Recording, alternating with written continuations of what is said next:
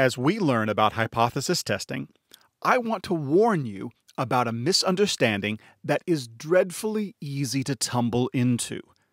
I want to be sure that you do not make this common mistake.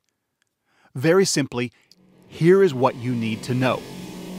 There is nothing magical about p equals 0.05.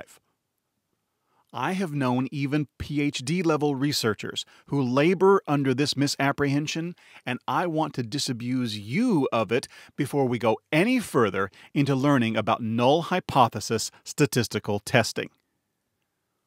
As we work through our five steps of hypothesis testing, we set an alpha level at step three. And I have told you to use a two tailed test with an alpha of 0.05 unless you were instructed otherwise.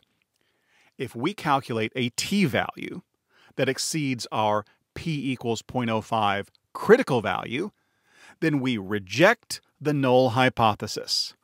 But you would be wise to ask, why do we use 0.05 as our significance value? Let's start by thinking about what 0.05 really means. We sometimes talk about tests being significant, but what we really mean is that the measurements are statistically significantly different. But, you know, there are different kinds of different. And if you think about it, everything is different. Even things that we think are the same are different. Two seemingly duplicate light bulbs are different. Identical twins are different. Two spark plugs are actually different. Two cars that roll off the assembly line right after each other are still different. And the means of two samples drawn from the same population, like identical twins, are different. Go out to enough decimal places and everything is different. On the other hand, many of these differences are too small to matter in the real world. So, knowing that two samples of the same size, drawn from the same population, are going to be different, we want to know are they really different? Are the differences greater than what would be expected by chance or measurement error? Are they statistically significantly different? So, how different do the means need to be for us to conclude that they were statistically significantly different? Ah, that is the question. As a field, we have settled on a significance level of 0.05, or 5%, or 1 in 20, or 19 to 1 odds.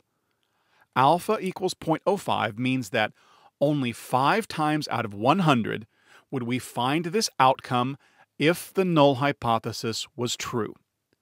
Remember, we start with an assumption, the null hypothesis, that the differences between two means is zero. But if we do a t-test, and the results that we observe were so unlikely that only one time out of 20 would we find these differences by chance, then we say that the differences are statistically significantly different. The probability of getting a difference as extreme or more extreme than the difference that we observed is 5%. So here are some things that you need to understand about the meaning of significance. Number one, significance is dichotomous. Your alpha level is a fence that you set before you begin an experiment. When you say to yourself, if I find differences that cross this threshold, then I am going to believe that those differences were not due to chance. The fence is your alpha level. Inside the fence is non significance. Only differences that cross that fence are significant. So if you're in a field inside of a fence with a bull, the only safe place to be is outside of the fence. It doesn't matter how close to the fence you are, if you are still inside the fence with the bull, you are still in danger. Only when you get over the fence, outside of the fence, are you safe? Outside of the fence is statistical significance. If your p equals 0.06, you are still inside the fence and still non significant. Only when p is less than 0.05 is the test significant. Significance is dichotomous, all or nothing. Number two, there is no such thing as more significant. There is no qualifier for significance, just like you can't be mostly pregnant or partly dead. Differences are either significant or they are not. So imagine that you are comparing two tests. The first test is significant at a z of 2.01, p less than 0.05, two-tailed test. The second is significant at z of 8.37, p less than 0.0001, two-tailed test. Is the second test more significant than the first? No. It is only a less likely result. There is no such thing as more significant, or almost significant, or marginally significant. Number three, statistical significance is not comparable. Imagine that you are comparing two treatments to a control group. The first treatment did not produce a statistically significant difference, p equals 0.08. The second treatment did produce a statistically significant difference, p equals 0.02. Should you conclude that the second treatment was more effective than the first treatment because it was significant and the first one was not? No. The difference between significant and non significant is not itself statistically significant.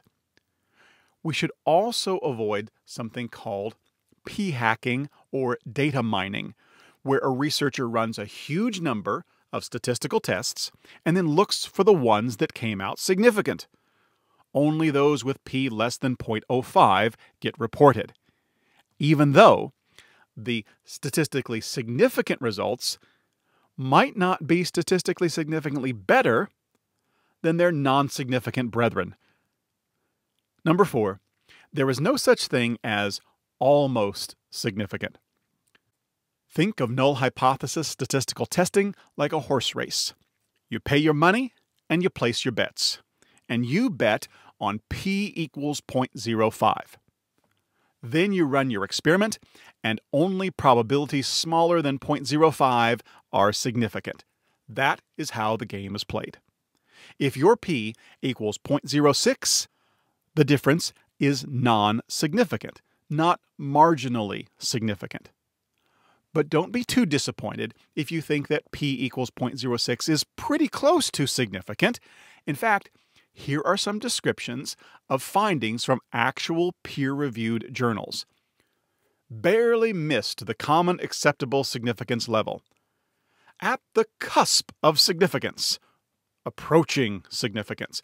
On the very fringes of significance trending toward significance. There is no such thing as marginally significant. It is like saying that your favorite team lost by one point, so they almost won. They were marginally winners. Or you finished fourth place, so you were almost an Olympic medalist. Almost means that it didn't happen.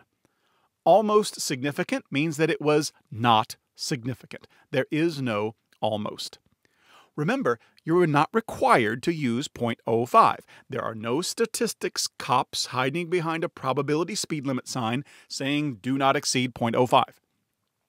Most researchers use 0.05, but you could set an alpha level to some other level if you had a small sample size and wanted to use p equals 0.10. Make a case for that in your methods section you should probably tie it to a power analysis. You can still get published. These were all published studies, but set your critical value a priori before you run the experiment for statistical or theoretical reasons, and then stick with it. Don't be the researcher standing at the finish line with a losing racing form saying forlornly, My horse almost won. He was approaching a win. Well, at this point, maybe you're beginning to feel a little queasy about this rigid approach to statistical testing. I mean, if the t test is p equals 0.06 and the direction of change was the direction you predicted, and if you'd only added a few more subjects, then the test would have been p less than 0.05, doesn't that mean something? Well, if you're thinking like this, good for you. That is exactly what you should be considering, and here is why. The null hypothesis is always a lie.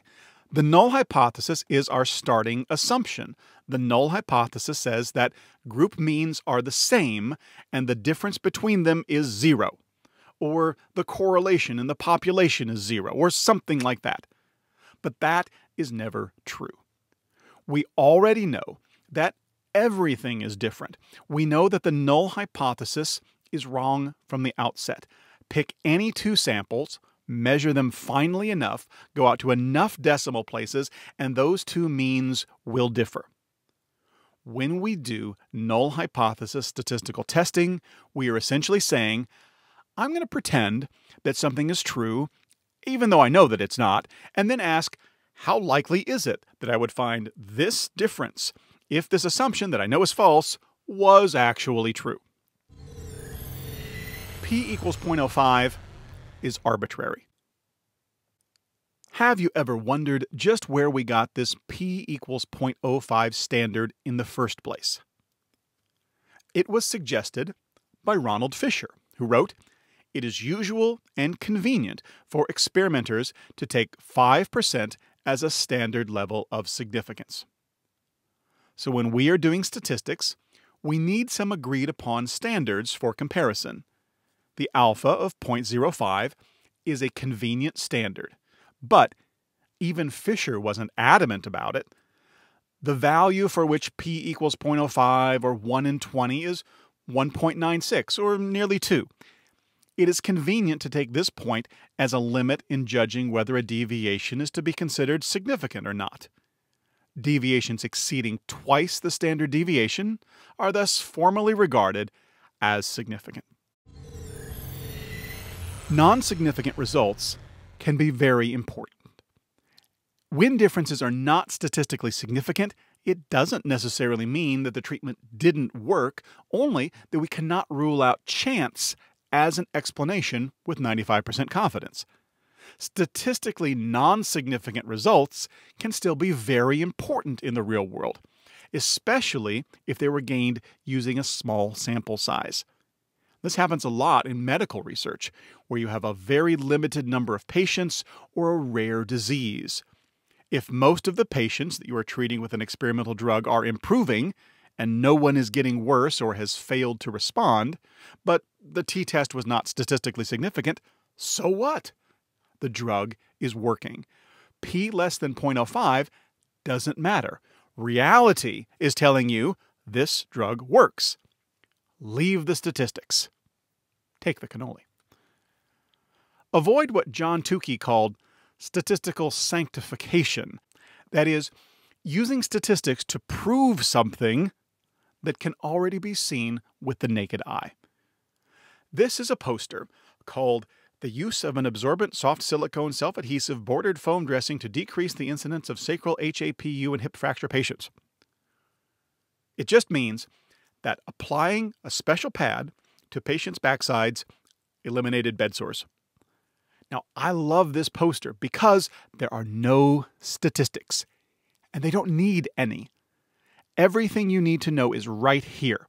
Before the study, six of 130 patients developed sacral HAPU. During the study, in which all patients received the special sacral padding, how many developed bed sores? None. Zero and three months after using the same protocol, still zero. You don't need statistics. You can see that this is working. We used to have a problem with bed sores, then we used this dressing, and now we don't. Statistically significant results can be unimportant. Statistical significance is not the same as practical significance. Significance does not tell you whether a difference was large or small, important or meaningful. A difference can be statistically significant and yet practically trivial. So, a gas station across town is selling gas for 2 cents a gallon less. That is a real difference. It is not due to chance. But is it enough to get you to drive all the way across town to fill up? Of course not. But if the gas was 50 cents per gallon less, that might get you motivated. Both of the differences are real, but only one is big enough to matter in the real world. When we consider differences, we should also consider effect size, practical significance. And so, love your p equals 0.06. Maybe that p of 0.06 really does have something useful to tell us.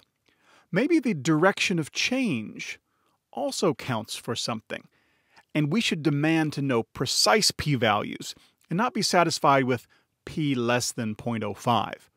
We want to see confidence intervals and the effect size as well if we are to be persuaded. Pay attention to the real world implications of research and do not be dogmatic about p equals 0.05. Or, as Rosnow and Rosenthal said it, surely God loves the 0.06 nearly as much as the 0.05. Arguing for viewing the p value as a continuous measure of the strength of evidence for or against the null hypothesis. And you know who would agree with them? Ronald Fisher, the guy who gave us that 0.05 standard. Fisher thought that the p value could be interpreted as a continuous measure of evidence against the null hypothesis. He never presented 5% as some magical fixed value at which the results suddenly become significant a p of 0.049 and 0.051 constitute an identical amount of evidence against the null hypothesis. So remember, statistics don't prove anything. Statistics provide evidence. We are scientists, and science is not a religion. We have no need for dogmatism. We are seeking clarity and understanding of the world around us. And null hypothesis significance testing is just one of several tools that can help us to figure out how our world works.